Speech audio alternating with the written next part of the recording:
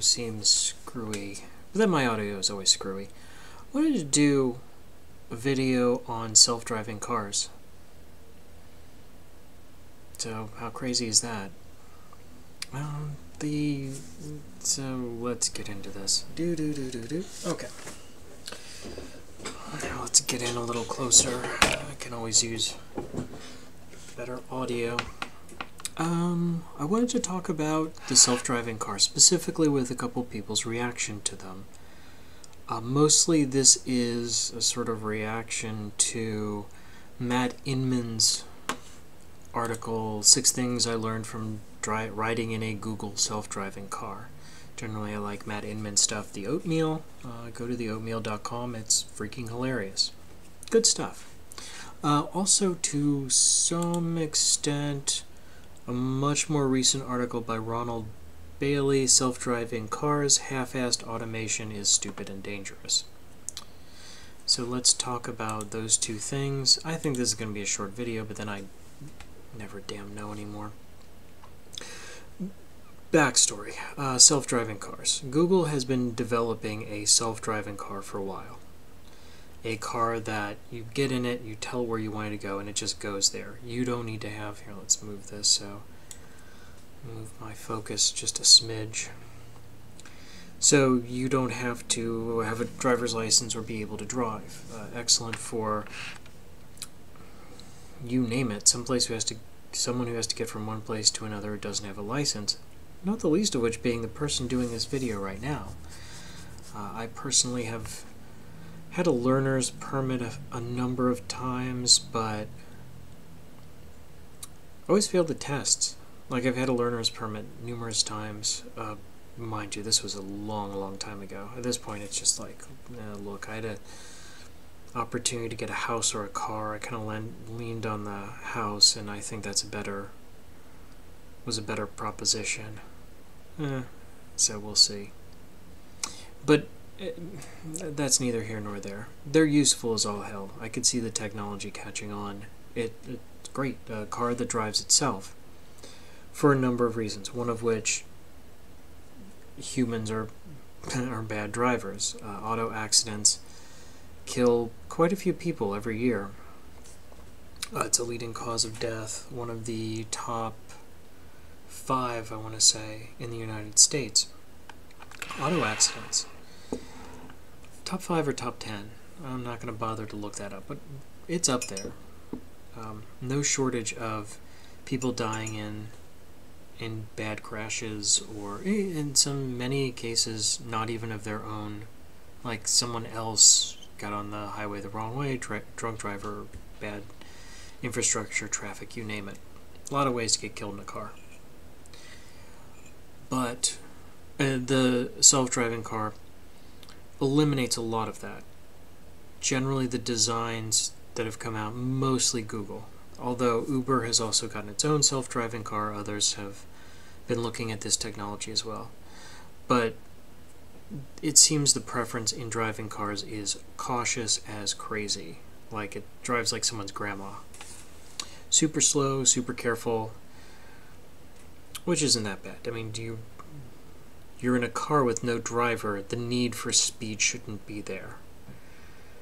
If it is, you need another. You, you shouldn't be in a self-driving car. Um, what else? Uh, other advantages are, meh, do you really need to own a car? I mean, being able to have a service, uh, that's what the route Uber is going, and maybe Google as well, where you just order up a car to show up at your house. It just takes you wherever you need to go. Uber style. Uh, like a taxi, only with no taxi driver or proper taxi for that matter. Interesting idea. I'd use it, honestly, if it were inexpensive. I'd use it quite a bit, actually. Uh, Uber so far has been, uh, I did it in another video, Uber has been uh, a huge boon to me. Much more than taxis, which are like three times the price around here. So, self-driving car, no one to tip. Gosh, I mean, it has a lot going for it. Mm, What other benefits? Uh, I could see quite a few. I mean, especially for an older person to get around or someone who's not well.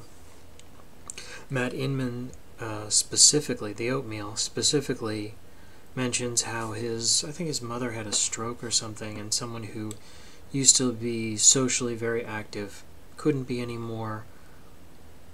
What a what a boon for someone like that. Uh, yeah, his mom had a stroke, so I could see that. I mean, it's it's all the advantages of a taxi with none of the downsides that I can imagine. People are talking about, ah, but it's not a human being behind the wheel, so maybe it'll malfunction and have accidents, and it's it strikes me it's inevitable that it's going to happen. So far, I mean, it's just a matter of technology and and society around the, the car to get that part right.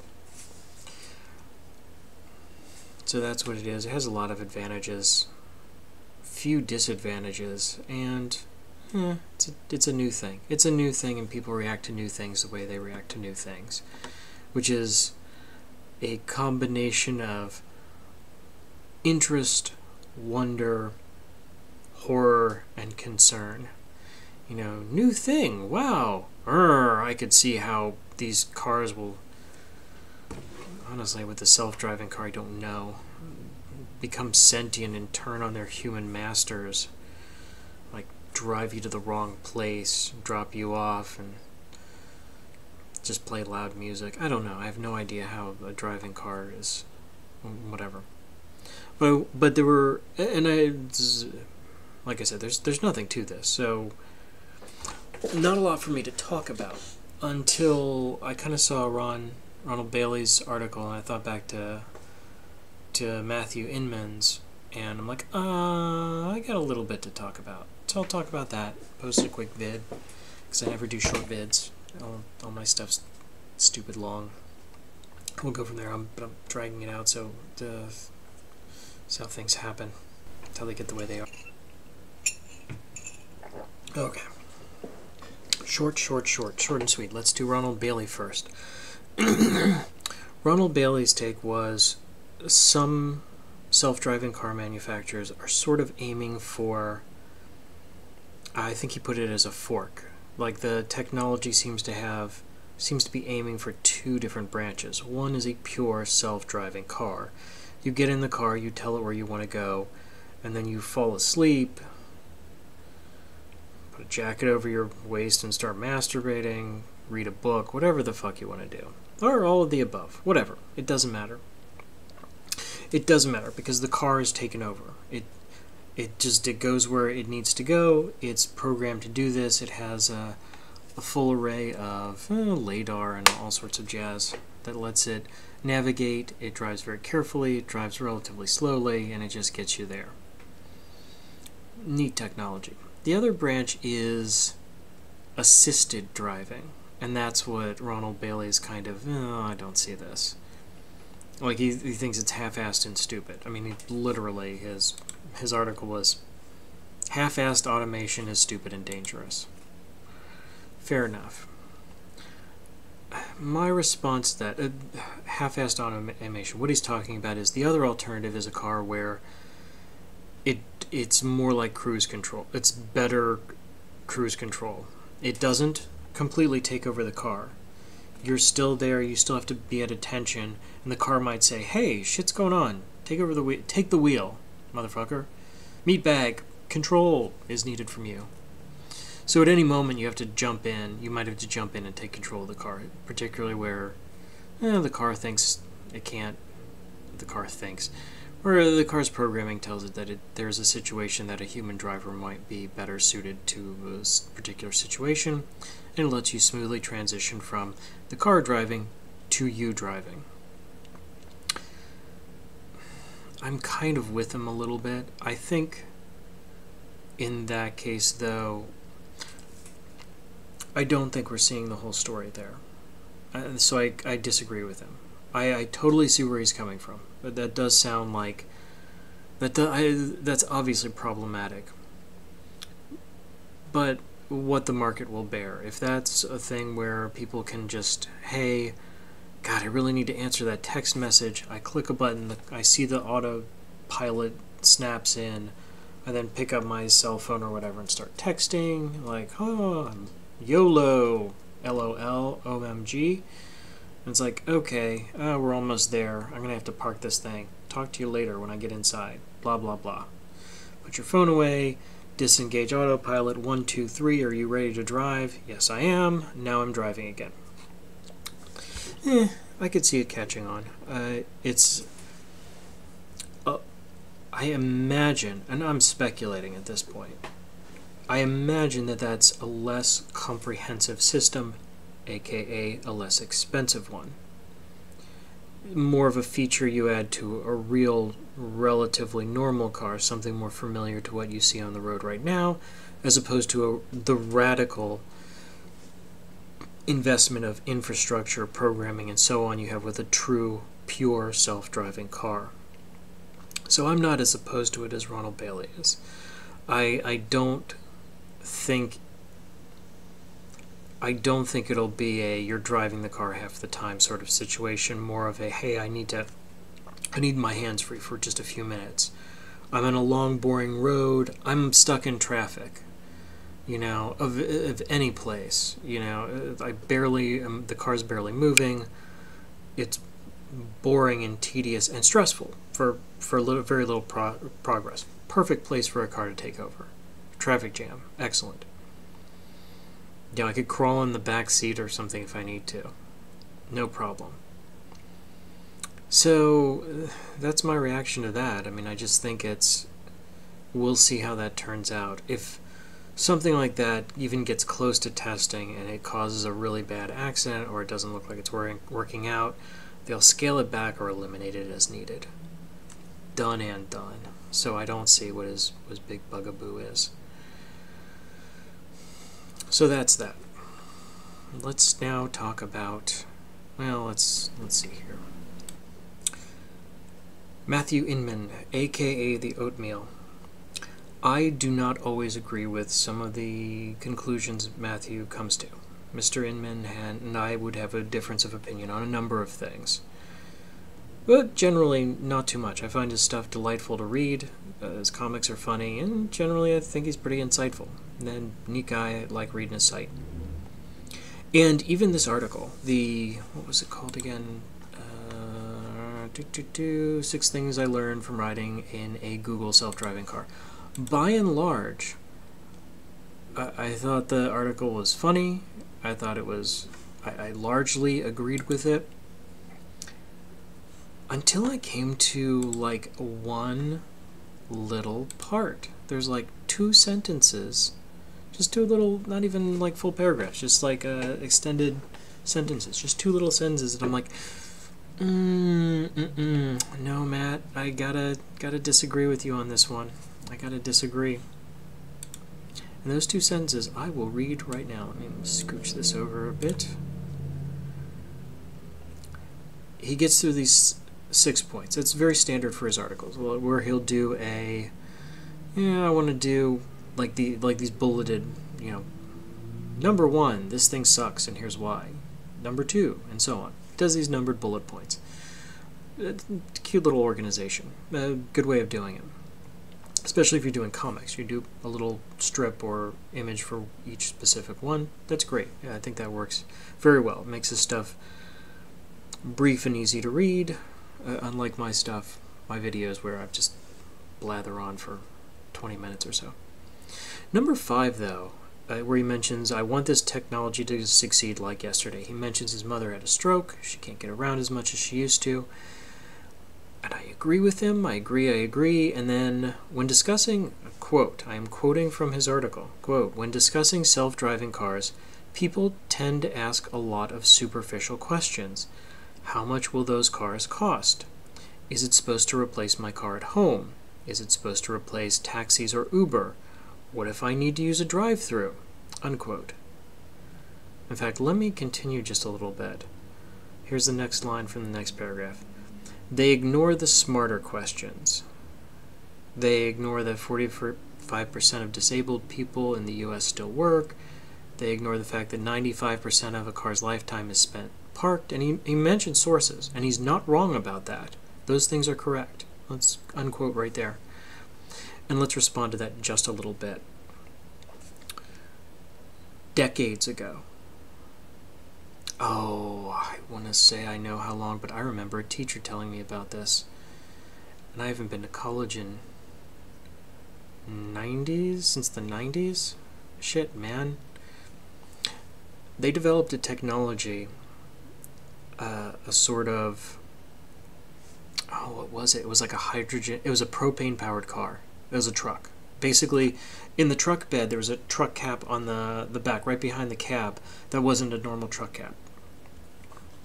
This allowed a truck to run on propane fuel, pure, clean burning fuel. That is to say, it didn't undergo partial combustion, it went, underwent full combustion, emissionless combustion. Hey, how crazy awesome does that sound?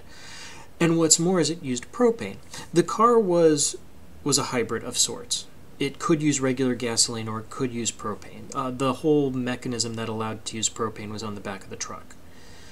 The premise is that while it took up the space of a truck cap, like that back part, by and large you still had the full the rest of the truck bed empty. It could still be used as a truck, it could still drive around, and propane is ubiquitous enough. I mean, virtually all large hardware stores have big things of propane canisters that you can you can get them there. A lot of gas stations have them, and so on and so forth.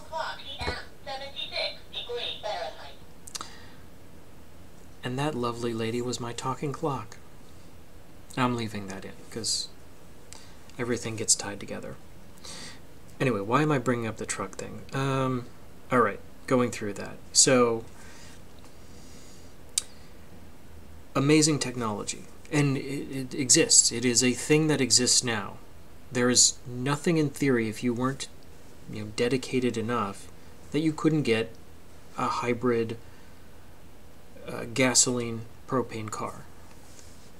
I, I can't imagine what would stop you from doing so, and there are advantages to doing so. Propane is a clean burning fuel. It is actually fairly damn efficient. I don't know what the price breakdown would be like, the miles per gallon, miles, you know, how far you'd get on propane. I don't know. I don't know how energetic it is as a fuel. But it's interesting.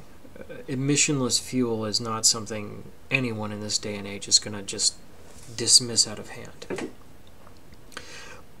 And they were ready to move them they those things existed those trucks existed there was an entire program around them they were ready to get those things going and on the roads. Then the government stepped in and did this amazing thing where they were just covering the cost of the conversion. What's more is they were subsidizing the trucks themselves. That sounds great. That's not great. That's awful. And here's why because the trucks were subsidized, they were cheaper than regular trucks. The problem is they were just regular trucks that had this other thing added on to them. So you get the truck, you get rid of the stupid propane uh, fuel converter, and then sell the truck at profit. You made a profit. You got a truck for less than a truck is worth. You got rid of the get rid of the stupid propane tank thing. You it's just a truck at that point. And nothing else happened of it. I mean, it's. You see where I'm coming from, and you almost see where I'm going. And let's get into this at length, because um, I want to. All right. It's not enough that a technology exist and be useful. It has to be implemented properly. And when I say properly, I generally mean freely. People have to be allowed to adopt it at their own pace. You can't force it. You can't force efficiency or an agenda through technology and through commercial avenues. You can't make people like something they don't like. You can't make people trust something they don't trust. You can work to show that, hey, this thing works, it works great. If it does, and if it's inexpensive and it's available, people will adapt it. They will adapt to it, they will adopt it, and they'll use it. And that's where I, leading in, that's where I had my problem with Matt's article. when discussing self driving cars, people tend to ask a lot of superficial questions. Superficial, Matt? Superficial? How much will these cars cost? That's not a superficial question, sir. That is a very valid question. If these cars cost 10 times as much, there's a problem. They're not going to be adapted. They're not going to. I keep saying adapted and adopted like they're the same thing, and you know, thinking about it, they kind of are a little. If it can't integrate into the rest of society, like, you know, this isn't a video game where we just certain elements are just thrown in at random and the rest of the video game works around it. Video game logic. This is a this is reality. This is real society. It already exists. It has a history. It has a framework. Many frameworks that interact in a complex and dynamic fashion. If these things are too expensive, it won't work. It just won't work. They'll be too rare. They'll be too hard to invest for them to get by being overpriced, they have to be insanely good. And honestly, if the car costs too much, I would just use Uber. Uh, what was the next one? Is it supposed to replace my home, my car at home? Once again, why is that a superficial question, Matt? that's not superficial. That's very relevant. Is it supposed to replace your car at home? Is this thing more or less expensive than a regular car? If this is as much as a car, then if I have a self-driving car and a regular car, I have two cars. Regardless of whether or not one of them needs a driver, that's two cars. Not everyone can afford to keep and maintain two cars. Yes, I understand you love the technology and the idea of this technology. Shit, man, I do too.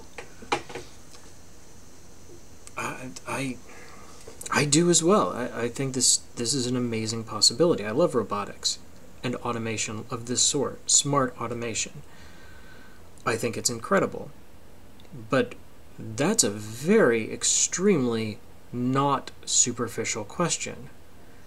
It's a very relevant one. Both of those are very relevant. Can I afford if I can't afford it, then I'm not going to get the self-driving car now, am I? if it's supposed to replace my car at home, well, what if I have to go someplace in a hurry?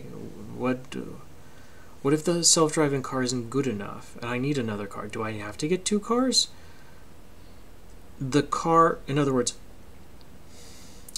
the car has to adapt to real life. Real life is not going to adapt to the car unless the car is fucking amazing. And that's true. That is simply true. That is a true statement. Uh, let's see, what else did he say? Is this supposed to replace taxis or Uber? That's a good question. I raised it myself. I, I'd, I'd forgotten he asked that, and I kind of posited that as well. And in, and in fact, he wrote this well before Uber started making a move on getting their own self-driving cars. Uh, replace? I don't think it will. That's not a superficial question. That's a very relevant one. Uh, I think it will, though. Not so much replace a supplement. In, in all of these situations, Ronald Bailey's article, Matt's article here, the oatmeal, I don't think these technologies will replace anything. I think they'll supplement them. And that's a very that's very relevant in its own right because it's not just that there'll be a bunch of self-driving cars, it's there'll be a bunch of self-driving cars on the same highway as regular human-driven vehicles. I think that self-driving Ubers will be a thing alongside regular Uber drivers. Uber Uber's big thing has always been its low cost, low complete lack of overhead in many cases. It is uh, simple as that. Uh, what else did he ask? What if I need to use a drive-through? That's not a superficial question. Close, but not. It's not. That's not superficial because there. Drive-through is a lot of stuff. Drive-through isn't just McDonald's. It's also the 24-hour pharmacy. It's you know it's things like that too there are a lot of situations that the smart car, the self-driving car, is going to need to adapt to. I think it can, but it needs to be able to do so. I mean, these are. When he's saying superficial, in my mind, I'm looking at these and go, oh, you mean practical questions. And he, what does he call the opposite of superficial? Smarter questions. They ignore the smarter questions. And the ones he's mentioning, I mean, I can't help notice this. He's mentioning that disabled people work, uh, cars spend most of their lifetime parked, uh, this technology could transform the lives of the elderly, eradicate the need for parking lots or parking garages or gas stations, because they don't think a computer can ever be as good as merging onto the freeway as they are. Okay. The thing is, what Matt has called superficial questions, I'd argue, are practical ones and personal ones. And those are the most important. We do not live our lives for the benefit of self driving cars. Self driving cars exist for our benefit so that we can live our lives, so our personal lives can be improved in one way or another. No one's going to develop a technology that they have to radically work their life around to be able to use. It, the technologies that catch on have to catch on naturally, they have to evolve organically. And all of these so-called superficial questions have to have answers before this technology will be adopted, even the drive-through thing. Because those those questions have to have good answers. Uh, wrap up. I think that's it. It's while I agree with both of these people and their articles at large, I kind of disagree with a couple takeaways. Uh, self-driving cars I think are awesome. I would use them in my own life if I could. Like, would I own one? Eh, probably not. I'm not a car owner type person. I'm not looking for more things to be responsible for. I've got a three story house. I've got multiple people I live with. I've got a cat. Uh, I've got enough shit going on. Um, it would just be a thing, and it would just be a thing. Self driving Uber?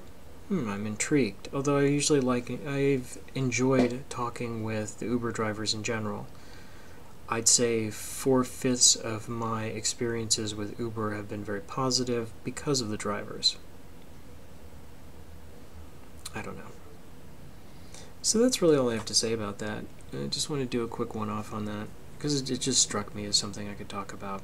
Man, I like I like the self-driving car. I'd like to draw attention to them. They're neat, but they they need to answer a few questions before they're going to become like a common very ubiquitous. Uh, everyone's seen a self-driving car.